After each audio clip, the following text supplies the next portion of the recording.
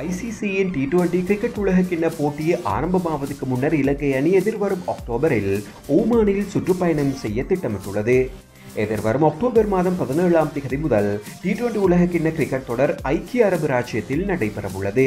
T twenty உலகக்கிண்ணத்துக்கு முன்னர் இடம்பெறும் தகுதிகான் போட்டிகளில் ஏ குழுவில் இலங்கை அயர்லாந்து நெதர்லாந்து மற்றும் நபீபியா ஆகிய அணிகளும் ஓமான் பங்களாதேஷ் ஸ்கொட்லாந்து மற்றும் பப்புவா நியூகினியா ஆகிய அணிகள் பி குழுவிலும் இடம்பெற்றுள்ளன.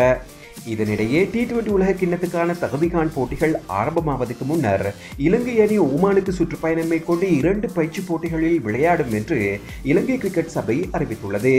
ஓமானின் வானிலை மற்றும் விளையாட்டு நிலைமைகள் ஐக்கிய அரபு ராஜ்யத்தை போன்றது. டி டுவெண்டி உலக கிண்ணத்துக்கு தயாராவதற்கு இலங்கை அணிக்கு அது சிறந்த தளத்தை வழங்கும் என நம்பப்படுகிறது.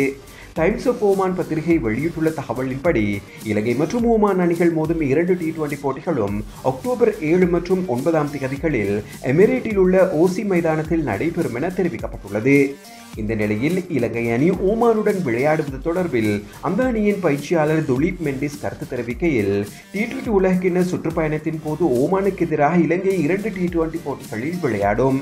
அவர்கள் ஐக்கிய அரபு ராஜ்யத்துக்கு செல்லும் வழியில் ஓமானுக்கு வர முடிவு செய்ததில் நாங்கள் மிகவும் மகிழ்ச்சி அடைகிறோம் என்று தெரிவித்திருந்தார். எனவே டி டுவெண்டி உலகக்கிண்ண தகுதிகான் போட்டிகள் நடைபெறுவதற்கு முன்னர் ஓமான் அணியுடன் விளையாடுவது இலங்கைக்கு எவ்வாறான முக்கியத்துவத்தை கொடுக்கும் என நீங்கள் கருதுகிறீர்கள் என்பதை கீழே கமெண்ட் செய்யுங்கள்.